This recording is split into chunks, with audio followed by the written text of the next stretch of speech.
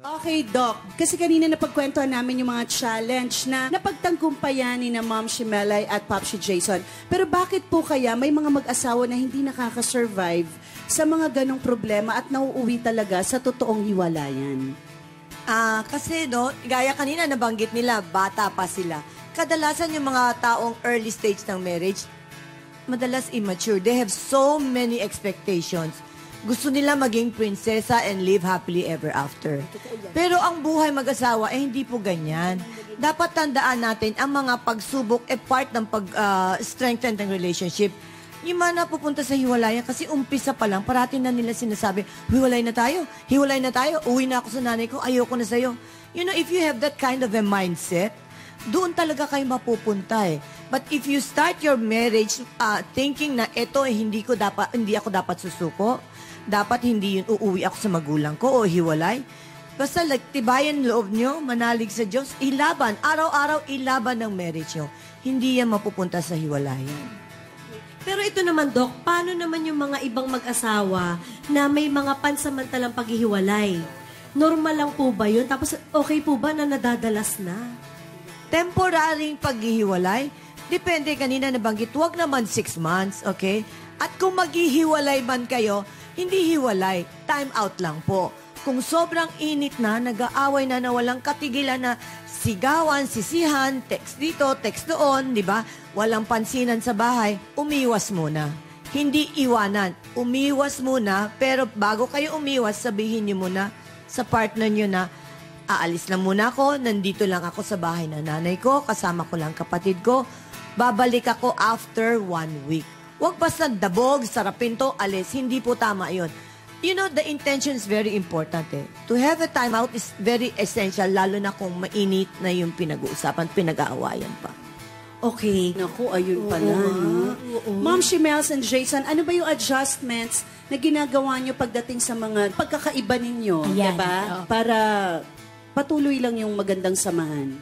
Kami naman, ang ginawa naming adjustment, actually talaga yung sinasabi kayo na, na huwag naman gayahin din ng mga tao yung six months na yun. Huwag naman gayahin. Pero nakatulong talaga yun para talagang ma-miss din namin ang isa't isa. Um, ma-understand namin ang isa't isa. Kumbaga, sa amin, hindi, sa relasyon kasi hindi, hindi tayo pwedeng mag-compare kasi ng mga relationship. Kasi iba yung relationship namin sa relationship, relationship ninyo. Hindi rin namin bilibilang yung away namin kinakalimutan namin yon Kasi ang mas binibilang namin yung pagbabati namin, kung paano kami nagbati. So sa amin talaga, nag adjust kami ngayon, in-open mind lang namin. Naging open-minded lang kami sa isa't isa. So kapag may pinag-uusapan kaming gulo, nire-remind namin sa isa't isa, oh, open mind, open mind. Isipin mo lagi na wag hindi ito para sa iyo, hindi ito atake para sa iyo. Atake ito para magkaayos tayo. So ang goal natin dito magkaayos, hindi mag mas gumulo. So yun ang ginagawa namin sa communication namin ngayon, 'di ba Papang Strolls, na adjustment namin. Ikaw Papang, ano yung mga adjustment natin ikaw para sa iyo? Eh, Tama din naman yung sinabi nyo. Tama ho yun. Ang sa akin lang, naging mas matatag lang kami. Kasi kung yung six months na yun, sa iba, talagang wala na, siguro hindi na rin nila, ano. Tas, Naging ma-fall out of love. Oo. eh, buti na lang din, nandyan yung mga bata. Kasi kaya kaya nandiyan yung mga bata, yan sila talaga ang magdidikit uli. Kasi pag wala talaga yan, ang dali magdesisyon eh.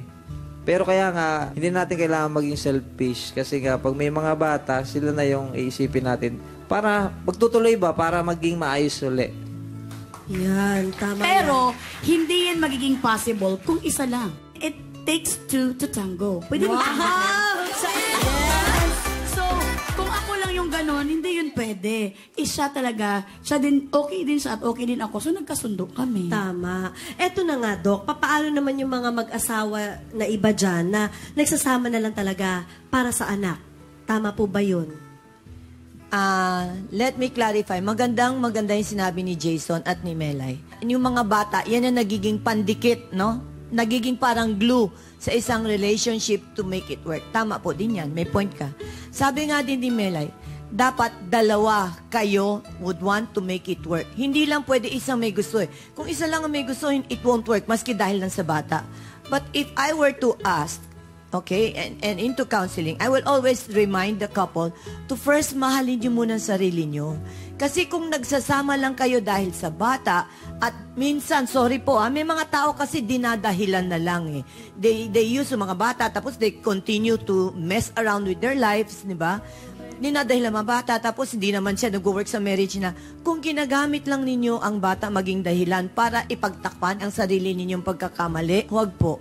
Maawa po tayo sa mga bata kasi hindi sila dapat nagiging biktima ng ating pagkakamali.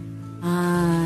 So, mahalin ang sarili muna. Mahalin ang sarili mo na Tapos bago ayusin. mahalin ang pamilya. At ma- dahil kung mamahalin mo na yung sarili mo, maaayos mo na lahat ng mga kakulangan at mga diferensya sa buhay Of mo. course, marami ka ng pag-ibig na pwedeng ibigay I-share. kasi okay ka na eh, diba? Dok, paano naman po dun sa mga matagal na po na nagsasama tulad po ng Melason? Ano po yung ah, dapat po nilang tandaan? Alam mo, nakikinig ako sa kanila eh. Ang ganda din, ano? Tandaan natin, kung mag-argue kayo, kanina na- narinig ko na sinabi, Maganda